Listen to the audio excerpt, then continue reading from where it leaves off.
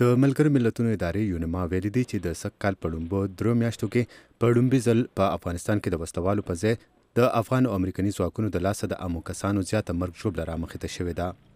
یونما د کال دوه زره نهم راهسې په افغانستان کې د شخړې له وجې د عامو خلکو د وژنې شمار راټولوي. د بشري حقونو لپاره د یونما مشر ریچارډ بینیټ ویلي دي چې په افغانستان کې سخته شخړه ده او د ټولو ډلو له خوا د عامو خلکو مرګ ژوبله رامخې ته کیږي.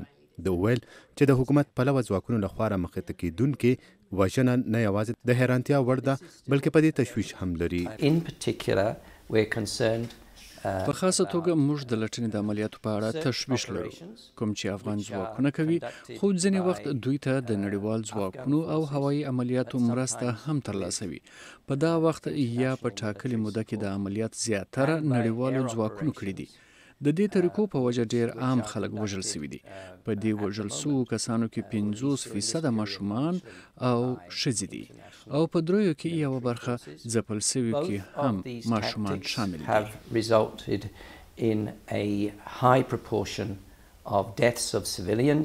یونیما په خپل رپوټ کې ویلي دي چې د امریکا ملاتړي افغان ځواکونو لخوا د هوایي بمبارۍ او د لټنې د عملیاتو په وجه زیاته مرګ ژوبله شوې ده او داسې ښکاري چې دوی بغیر د څه یرې کوي یعنې دوی ګڼي چې د دوی نه څوک د پوښتنې نشته. تېر کال د ستمبر په میاشت کې د میدان وردک صوبې د ملا حافظ په کلي کې د هوایي برید په وجه مسیح رحمان د کورنۍ دولس کسان وژل شوي وو. مسیح رحمان دغه وخت په ایران کې کار کولو.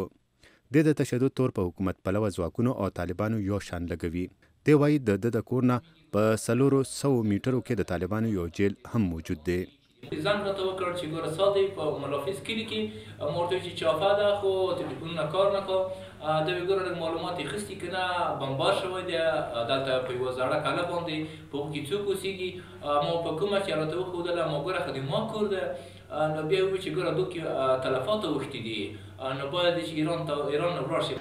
د یونیماد په رپوټ کې د افغان حکومت او نړیوالو ځواکونو نه غوښتنه شوې ده چې د عامو کسانو د وژنې د تورونو پلټنې وکړي او نه یوازې د دغو پلټنو معلومات دې ولس ته په ډاګه کړي بلکې ځپلو خلکو ته دې مناسب تاوان هم ورکړل شي. د افغانستان ولسمشر اشرف غني د روان کال په شروع کې امنیتي ځواکونو ته هدایت ورکړي دي چې د لرټنې د عملیاتو په وخت د عامو خلکو خیال وساتل شي.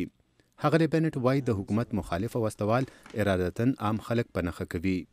The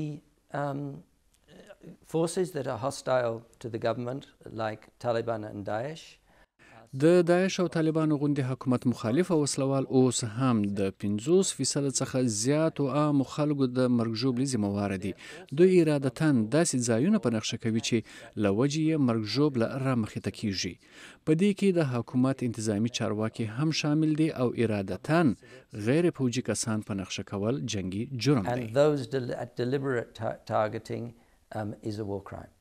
د بشري حقونو لپاره د یونیما مشر ریچارډ بینټ دا هم ویلي دي چې د سږ کال د جنورۍ نه تر د مارچ د میاشتې پورې په افغانستان کې مرګ ژوبله کې درویشت فیصده کمی راغلی دی خو زیاتوي چې دا نه ده معلومه چې دا کمی د سختې یخنۍ یا په ځانمرګي بریدونو کې د کمي له وجې رامخې ته شوی دی. اې پي خبري اداره وايي، طالبان چې دا وخت په نیم افغانستان واک لري، دوی هم د خپلو وسله والو غوښتنه کړې ده چې په خپلو بریدونو کې د عامو خلکو د وژنې نه ډډه وکړي. د امریکې د پوځ ویاند کرنل ډیو بټلر ویلي دي چې د عامو خلکو ستونزې د راکمولو یوازنۍ لاره اوربند دی. همدغسې ښاغلي بینټ هم ویلي دي چې د مرګ ژوبلې د ختمولو یوازنۍ لاره جګړه ختمېدل دي. طالبانو د امریکې سره مذاکرات شروع کړي دي، خو د افغان حکومت سره د خبرو انکار کوي. افغانستان کې د سولې لپاره د امریکې ځانګړې استازې زلمې خلیلزاد چې پرله پسې یې د طالبانو سره لیدلي دي وايي چې په مذاکراتو کې شوی پرمختګ نه ګټه پورته کول پکار دي. وقت ادي رسیده که. وخت راغلی چې تر اوسه د سوي پرمختګ دفاع وکړل سي او دا د سولي او د افغانستان د آینده لپاره یوه اډاڼه وګڼل سي. یونیما وایي د کال دوه زره دیارلس راپدیخوا د سږ کال په ټاکلې موده کې مرګ ژوبله له ټولو کمه وه. د یونما تر مخه تېر کال د افغان ولس لپاره یو خونړی کال وو، ځکه چې په تېر کال کې نږدې څلور زره عام افغانان وژل شوي وو. د اې پي خبري ادارې تر مخه افغانستان کې د بشري حقونو خپلواک کمېشن ویلي دي چې په تېرو لسو کالو کې د پنځه اویا زرو نه زیات عام خلک په جګړو کې وژل شوي دي.